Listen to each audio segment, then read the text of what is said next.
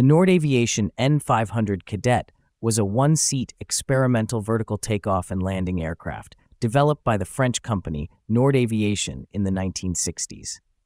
Initiated as a private venture in the early 1960s, the project aimed to explore the tilt duct concept, where lift rotors are enclosed in pivoting ducted fans.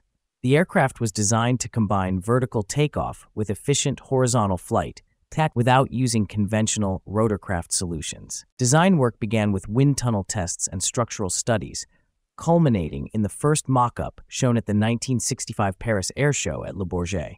The N500 was a high-wing monoplane with short-span, pivoting wing consoles supporting two large ducted fans.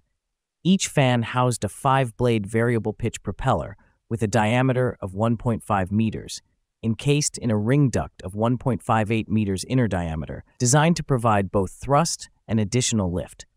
The fans could rotate electrically to transition between vertical and horizontal flight modes. The aircraft's airframe was primarily metallic, with a high-mounted cockpit offering excellent visibility. It had a fixed tricycle landing gear with a wide track for stability. Two Allison T63A5A turboshaft engines, each producing 317 horsepower, were installed side by side in the rear fuselage. The engines drove the propellers through a complex transmission system developed by Hispano Suiza, allowing for engine redundancy and full control of fan rotation. The first prototype, completed in 1967, was used only for ground and tethered flight tests. In 1968, the second prototype achieved its first tethered flight and was later approved for free flight testing. During trials, the aircraft demonstrated good handling characteristics and validated the tilt duct configuration.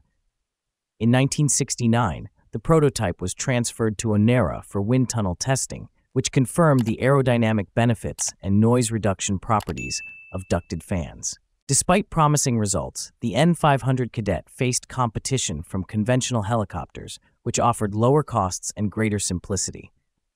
By 1971, the project was canceled due to a lack of military or commercial interest. The proposed follow-up models, including the Nord 501 attack and transport variants and the larger Nord Rocade concept, were never built. Though it never entered production, the Nord N500 Cadet represented an ambitious and technically sophisticated step in vertical takeoff and landing experimentation.